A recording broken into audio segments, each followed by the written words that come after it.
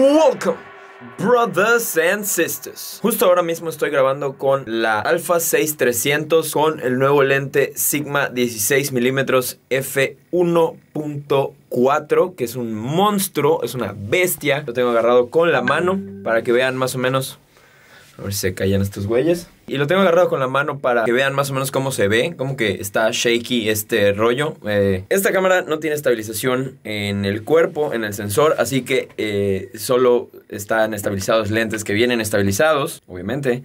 Y por consiguiente, este lente no está estabilizado, pero es tan angular que no se ve tan shaky. Pueden estar literalmente moviendo su mano como el loquito del chiste de déjame idiota.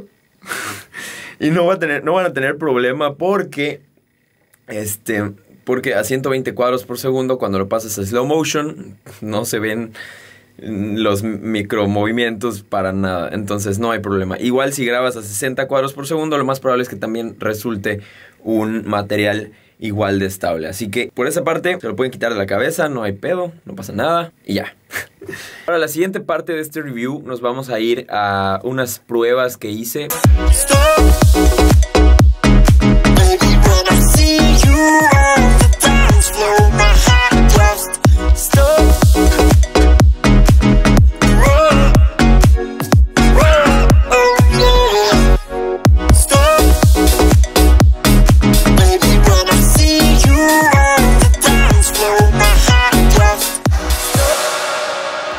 Algunas tomas de la secuencia que vieron al principio de este video, total y absolutamente handheld.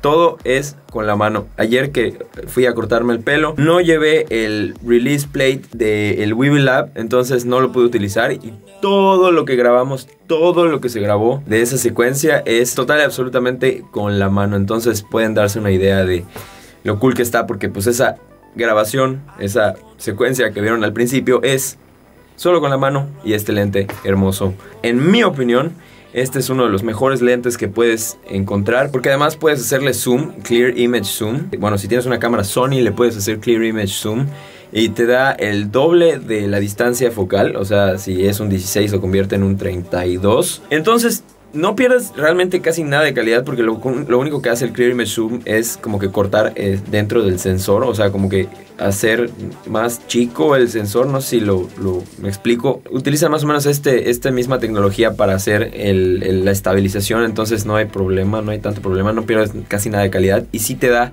como si fuera un zoom lens, entonces yo me iría por este y de hecho, pues yo me fui por este. Señores y señores, sin más por el momento porque ya hablé un chingo.